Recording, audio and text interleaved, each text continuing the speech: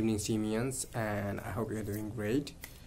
Well, things have been really really going tough for all the community I guess and things are really spicing up. And honestly speaking now is really a very crucial time for ourselves.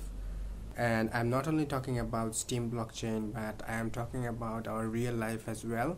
COVID-19 virus have really taken over a lot of countries and people are really really getting affected by it and in a bad way.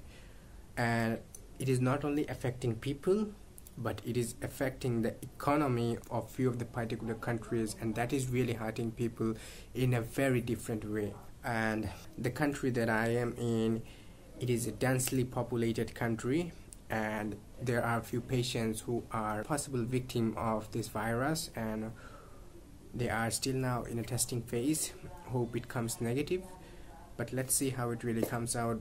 If it really becomes positive then it, it would be a really really bad news for all of my country people. And as like I said as we are in a densely populated country this could really spread very much hugely.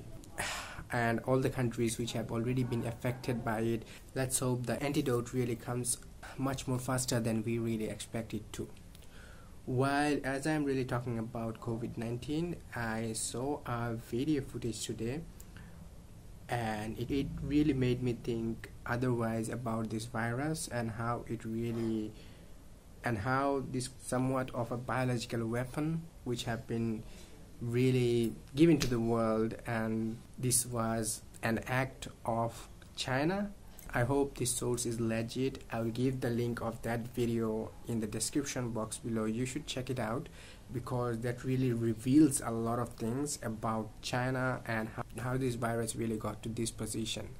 And hopefully if the source is true if the news is true they will come forward and make the right thing at this particular moment because the damage have been really really severe and it could turn out much more disastrous in the coming days as well. Because if this situation really goes on then it is a matter of time that it will reach each and every country of this world. So i really hope that the situation really comes under control and we get to see an antidote is being made by all the genius people genius doctors genius scientists to protect the fate of human race and makes it a happy and well-being world for all of us.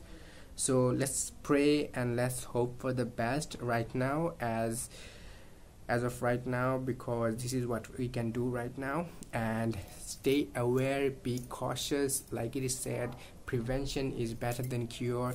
Use soap. Do not get into crowded place. And for now try to stay at home as much as possible. And i know for the living purpose we really have to make our survival. So do what is really best for you under the circumstances and make every moment count guys. By saying that i would really like to end the vlog right now and i will see you soon on the next vlog. Till then stay safe and be cautious guys